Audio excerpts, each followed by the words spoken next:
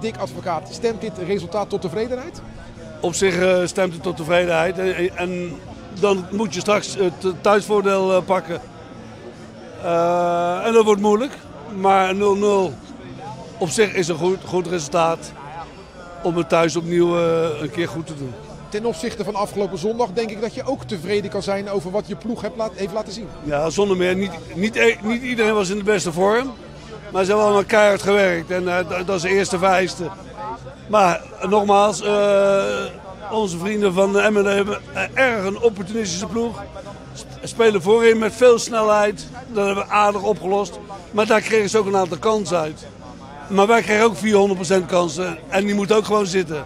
Je hebt je wel eens geërgerd de afgelopen weken. Was dat vandaag minder of, of net zo als anders?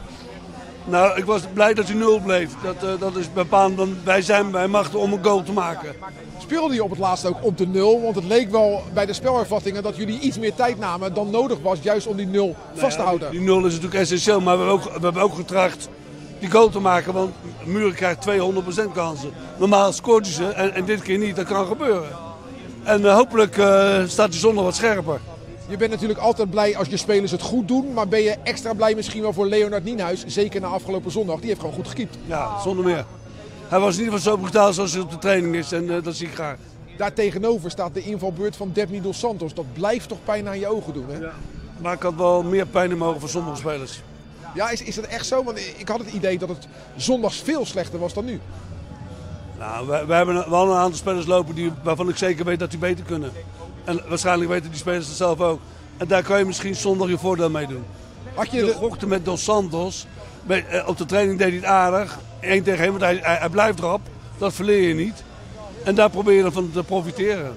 Je zag de spelers van Emmen toch ook wel wat vleugels krijgen. Die zijn niet gewend voor 8300 mensen. Dus, die, die, die wilden zo graag naar voren. Hè? Maar dat is hun spel ook. En dat deden ze goed. Ik vroeg het ook uh, aan Jeroen Veldmaten over de videoref die situatie. Had je het gezien? Ik heb het op de bank gezien, ja. Je zag al gelijk dat het een strafschop was? Ja. Dan moet de scheidsrechter ook gezien hebben, of niet? Ja, wij hebben begrepen dat hij andere herhalingen te zien kreeg. Niet de close herhalingen, maar de totale. En dat het daarop niet te goed te zien was. Nou ja, ik kan er wel iets over zeggen, maar laat ik mijn mond houden. We hebben nog een wedstrijd.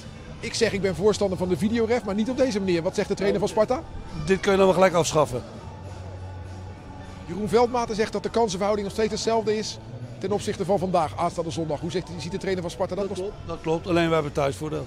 Dus dat is 70-30 of ben ik dan te positief? Ja, ben je, ben je te positief. 60-40.